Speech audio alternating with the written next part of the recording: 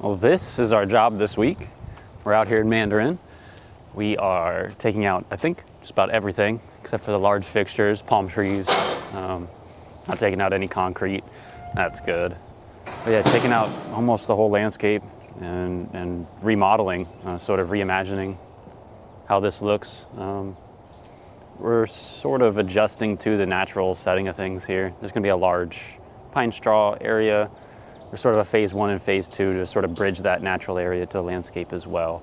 Um, it's a lot of cleanup. I mean, as you can see, a lot of leaf litter, a lot of sort of dead space, a lot of uh, natural plants that aren't really making it, just sort of looking scrubby.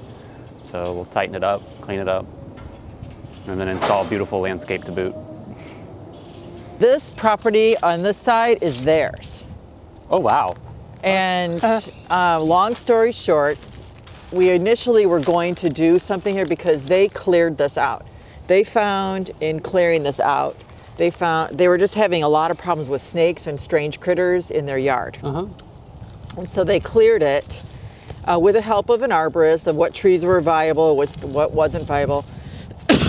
and this is kind of what remains. This part and their this yard won like Mandarin uh, landscape of the year. Oh, wow. Because the, as you'll find, like, well, you're not, we're not working out here, Some but plants.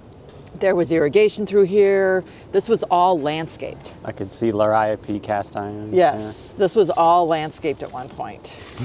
so the only thing we're doing on this side, though, just so you know, is cleaning up along the fence here Okay. and planting. I think it's The just some Simpson stoppers. Um, and we were going to do. I think we made them a little bigger. These are wildflowers. They're so pretty. I just wish they were flowering.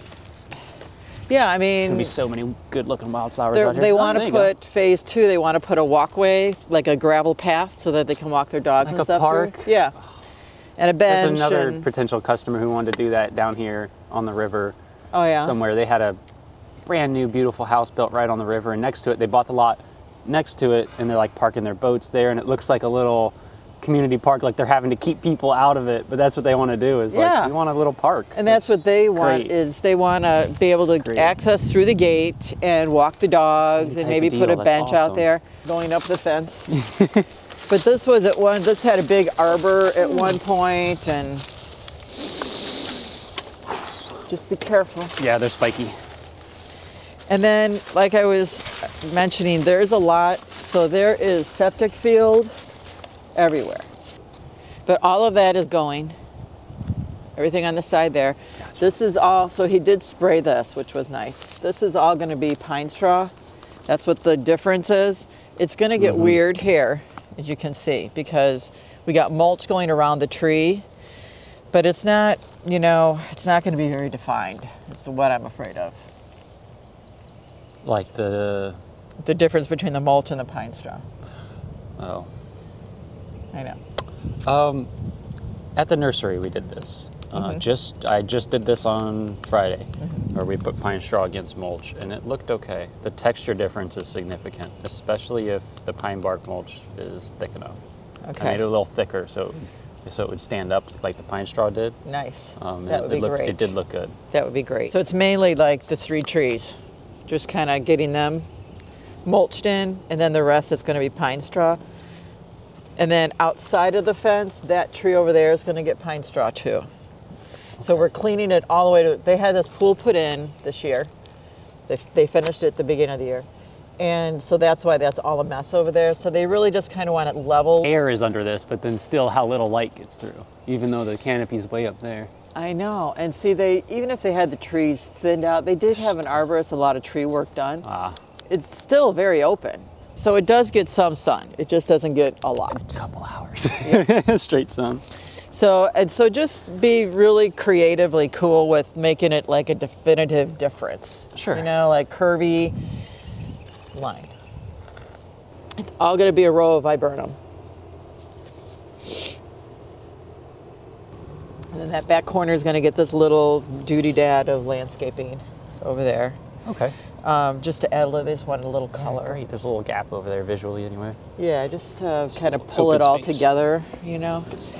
This is all going to get cleaned up. Is that a Brody on the corner on the Yeah. drawing? Yeah. Awesome. Some Brody here, Brody there. There's a few in the front too.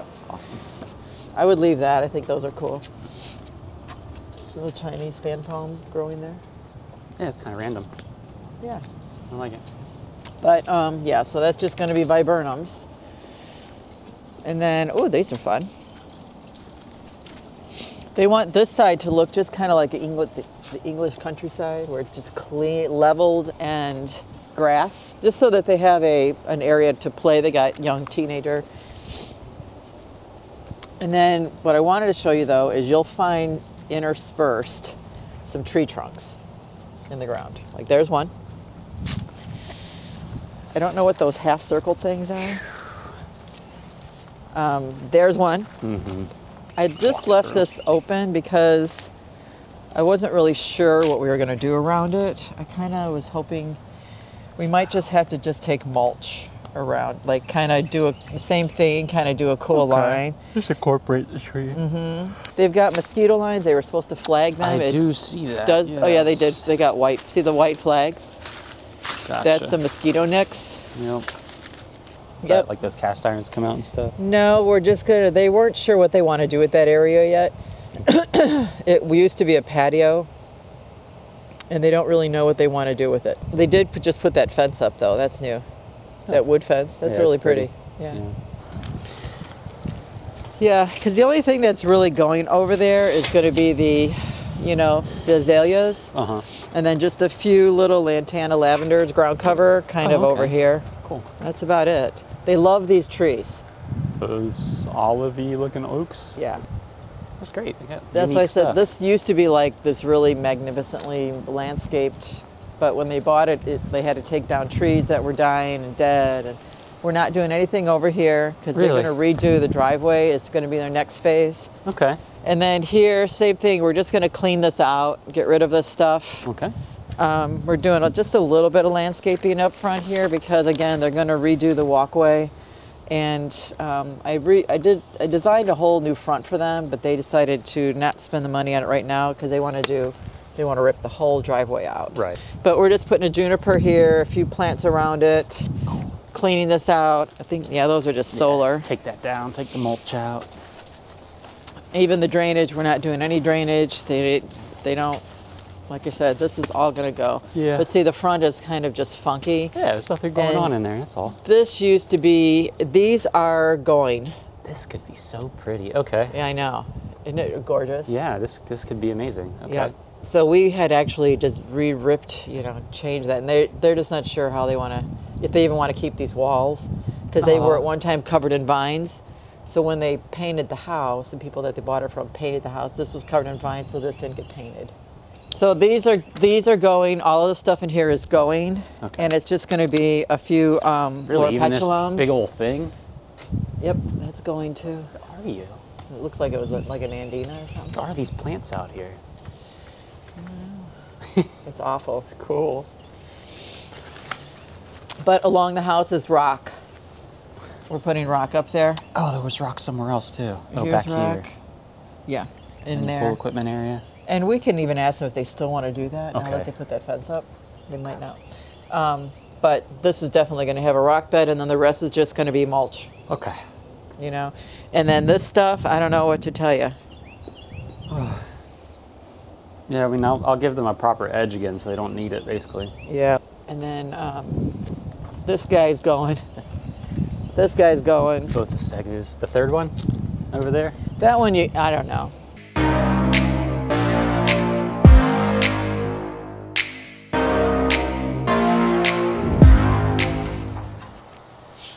It's day two of tear out.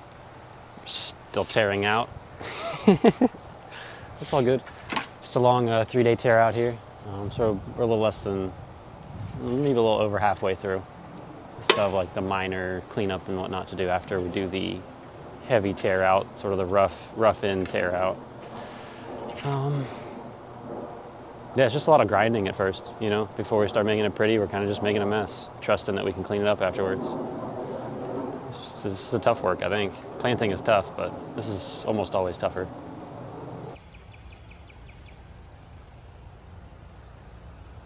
There's also an old chain link fence in here, but there's everything else. There's jasmine, there, there are stumps. There are root vines that are endlessly long and woven together. So this, this bed has proven to be very difficult. We've, uh, we've let this be for a second while we get some momentum elsewhere, and then we're gonna come back and try to destroy this thing, because it, it's awful. This is sort of what happens when natural Florida mixes in with an older landscape. Um, you know, built in with the sort of exceptions we make over time or things we let go, and then it's it's unmanageable after a while. This is a tough day out. Every one of these stumps tried to come back. Uh, somebody cut it all the way down, but the tree's a little bit more determined than we are sometimes. Um, just comes right back. Big stump in there. Same over there, they had cut down a magnolia and it came all the way back. And this was a maple tree and it was coming back as well. You have to take the whole stump out and that's what we're gonna do.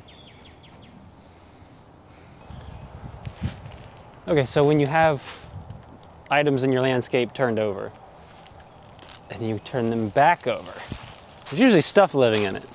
Usually bugs. There was a big old snake in it today. I'm sad you guys didn't get to see it. A big snake in that old pot. It was hard to pick up, so mm, probably should have been more wary of what was in it, but big snake. Foreman David Arthur updates us in week two of this large landscape project designed by Pam Poe.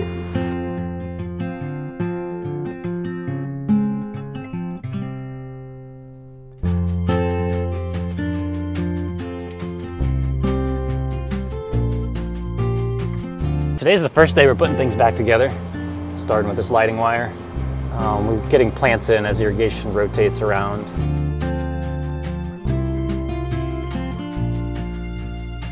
They're finishing up and we're just following behind them, putting in all our plants.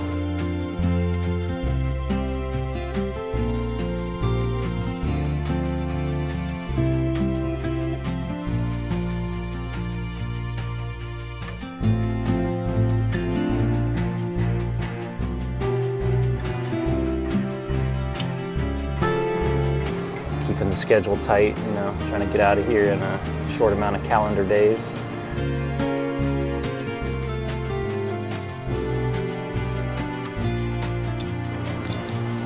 Did get some extra work. We found a pond in the front yard. It was interesting, filled with all sorts of construction debris and rocks and flagstone like you'd expect, root mass. Um, lots of fun stuff.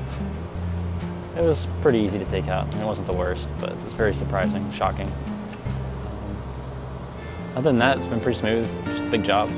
It's just a big job. Just takes a while. That's all. Yeah, big project coming together. Lots of details, like having to put their mosquito fence back up or mosquito barrier. Just small stuff like that. Um, Today's not the last day, it's the second to last day, but we are wrapping up quick, as always happens. It's a big mess for a long time, and then uh, the last few days it just kind of slaps together really quick. Um, doing some grading right now, first thing in the morning. Um, trying to get all our sod off the pallets today. And irrigation's finally out of the way. They had a huge install, uh, probably close to or more than the cost of the landscape itself. Uh, when you have to do a full irrigation reno, it's it's extensive. It can be as much as your landscape. Um, but that's you know that's the insurance, that's the protection, that's uh, that's how we keep the landscape alive. So it's, it's absolutely necessary. Yeah. So as far as grades go, um, most grades are pretty awful. Uh, we step back in here, we take the sod out, which we cut out fairly evenly, and underneath is always this really ugly grade. Um, so typically you can go through, add some fill dirt, pull it back with the machine and have a pretty well set grade quickly. But uh, over here, like on this septic field, the grading is 100% hand grade. We go through and rake down the high spots into the low spots, um, clear the debris, and try to keep the landscape flowing water. So it doesn't catch water anywhere, kill the grass, especially in shady areas like in the corners of this yard. Uh, that pooled water is just gonna hurt the grass, hurt the grade, um, slowly sink the ground down, everything that you, you know water to do. We just don't want it. We, we want it to flow across top of the grass and feed it, but not sit anywhere. Um, so a nice clean, compact, and consistent grade helps move that water out. Um, you know, bar any extreme examples, like for for this, uh, this corner over here by the driveway, you actually can't get this water out of the backyard, so it is gonna catch over there, um, but we just minimize that as much as possible, you know, bar using a drainage system to pop it out to the street somewhere or something like that. One of the first of the last touches is sod going in. So our sod's in over here. Um, it's looking pretty finished on this side. We'll be putting pine straw and mulch later today. So this is our wrap up process. Um, we're going through, putting sod in, putting mulch in, and getting everything watered one more time, making sure everything is solid before we leave. Um, I had to wrap up things like the mosquito fence, some broken lighting wire, um, irrigation's even wrapping up some details out here for me right now. We'll be using up all the rest of the sod, expanding our bed areas where we can, where it's not planned. You know, we'll kind of talk that through and add sod in places. We do have a little extra work to do as far as prep because sometimes things show up in the course of the project and we have to add that onto the end. Um, sometimes it's extra, sometimes it's necessary. We sort of discuss that through. It depends on the context. But this time it's pretty necessary. It's gonna make our mulch look bad if we don't take our rocks out from under it up front. So if you do have vines on your trees, I know it's kind of a nightmare. Um, you can see what looks like fairly clean dirt down here has a bunch of roots still sticking out of it. There must have been four inches or more of these roots um, we took out yards of roots just from around this tree, like probably two and a half yards of roots from around a single tree. So it's something that we need to do, you know, for instance, for irrigation to come through or for us to put plants in here eventually. It's very extensive. Um, something we can do, but it's something that needs to be accounted for because it can be uh, quite a fight. Being that this was a pretty natural landscape, we're adding a lot of pine straw. Um, sort of keep the natural look, but also being that it's very shady on this side of the property, it needs some sort of ground cover that's not grass. Um, sometimes it's a budgetary concern, but sometimes we're just waiting on like phase two, phase three, something like that. Just buy us some time um, and sort of buy some space cheaply. Just uh, cover it over with some ground cover and maintain it without plants. And one of the things we we do, but we try to hide, is we make straight lines. So we put our plants in a grid pattern and stuff like that. We put our bed lines parallel with things and straight. But out here we've done a more organic design with this flowing bed line. It skips through the fence, connects the two beds, the front and the side bed, and connects the sod line through the backyard. Just this very organic sort of flowing landscape, my preference personally. Big tear out, but we put this petite landscape in like we always do. Very ornate, very petite. Um, just the smallest changes, you know, we try to execute exactly to plan, uh, unless there's some sort of major problem under the ground or above the ground. Like if these junipers are too close to the house to stand up tall and, and free from the house, then bump them out a little bit and adjust the rest of the bed to fit that. But that's small stuff, you know. We try to execute exactly the way your plan is so that you get what you're expecting.